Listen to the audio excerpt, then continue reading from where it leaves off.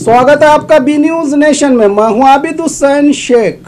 बीजापुर की जामिया मस्जिद में सैकड़ों की तादाद में हिंदू बहन भाई मस्जिद दर्शन में दिखाई दिए। मस्जिद दर्शन को पहुँचे स्वामी जी, इंडिया, भारत, हिंदुस्तान। नाम है अनेक, लेकिन मुल्क है एक। उसी तरह ईश्वर अल्लाह गॉड के नाम से इस दुनिया के बनाने वाले को भी पुकारा जाता है, लेकिन सबका मालिक एक, नाम अलग अलग। भारत देश की सालों पुरानी गंगा जमुनी तहजीब को बरकरार रखते हुए उत्तर कन्नड़ जिला भटकल के जामिया मस्जिद में मस्जिद दर्शन प्रोग्राम रखा गया था, जहाँ पर श्री बसवा प्रकाश स्वामी जी को बुलवाकर मस्जिद और नमाज़ की जानकारी देकर फिर एक बार भाईचारे की मिसाल पेश की गई। इसी तरह बीजापुर के जामिया मस्जिद कमेटी और जमात इस्लाम हिंद के इश्तराक से ये कार्यक्रम आयोजन किया गया था, जिसमें सैकड़ों की तादाद में हिंदू बहन भाई मस्जिद दर्शन में दिखाई दिए और इस्लाम की सच्चाई को करीब से देखा। इन भाइयों ने सालों से इसी देश की परंपरा को कायम रखते हुए ये प्रोग्राम हर जगह किया जा रहा है, लेकिन कुछ सियासतदान अपने सियासत की दाल गलवाने के लिए हरे और केसरी रंग को अलग अलग करके अपने नफ़रत की दुकानों को चलाते हैं। लेकिन कुदरत के आगे आज तक किसी की चल ही नहीं पाई। जितना दूर करेंगे, उतने ही करीब आते रहेंगे लोग, क्योंकि आखिर में इंसान ही इंसान के काम आता है, वरना तो जानवर भी ज़िंदगी गुजारते हैं इसी ज़मीन पर।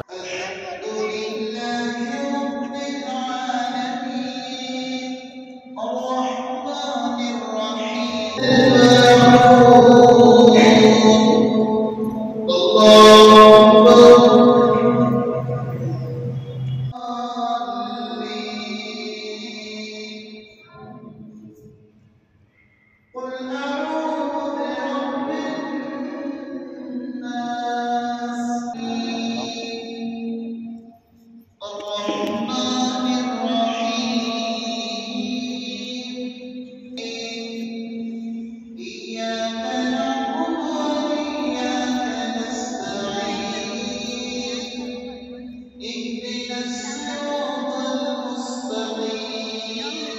वबरकत मुअज़्ज़ नाजरीन, मोहतरम सामीन आज माशाल्लाह शहर बीजापुर के अंदर, तारीख़ी शहर में, तारीख़ी जामिया मस्जिद के अंदर, जमात इस्लामी हिंद और ज़िले बीजापुर के ज़िम्मेदारान ने एक बेहतर से बेहतर, बल्कि एक अनोखा प्रोग्राम यहाँ पर किया है।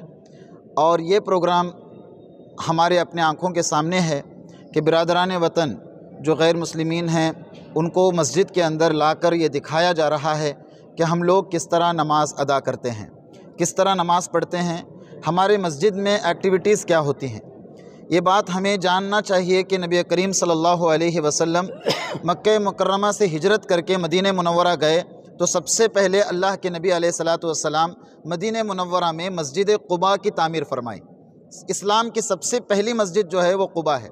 आज से 1400 साल पहले से लेकर आज तक उस मस्जिद में वही एक्टिविटीज़ हैं, जो चली हुई आ रही हैं, जिसमें नमाज़ है, जहाँ पर ज़िक्र है, जहाँ पर लोग उम्र के ज़ायरीन जाते हैं, नमाज़ अदा करते हैं दो दो रकात नफलें पढ़ते हैं, दुआएँ करते हैं।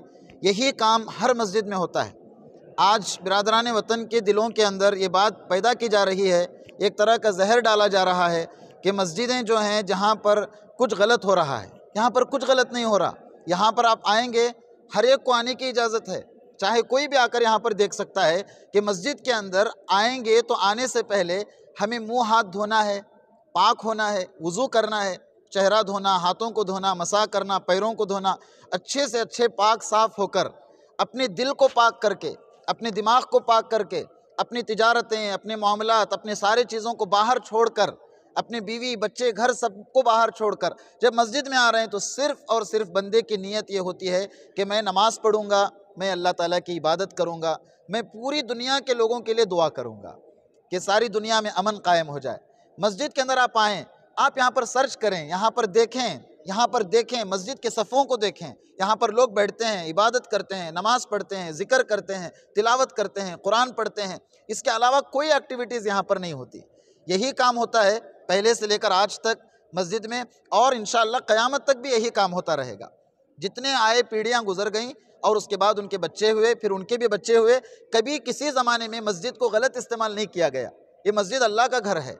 यहाँ पर अल्लाह ही की बातें होती हैं, यहाँ पर कुरान की बातें होती हैं, यहाँ पर हदीस की बातें होती हैं, यहाँ पर उसके अलावा कोई और चीज़ नहीं होती। यहाँ अमन की बात, यहाँ शांति की बात, यही चीज़ है। तो इसके लिए बिरादरान वतन को लाना और मस्जिद को दिखाना और हम जो नमाज़ पढ़ रहे हैं, रुकू कैसे कर रहे हैं, सजदा कैसे कर रहे हैं और ख़बरों के लिए देखते रहिए बी न्यूज़ नेशन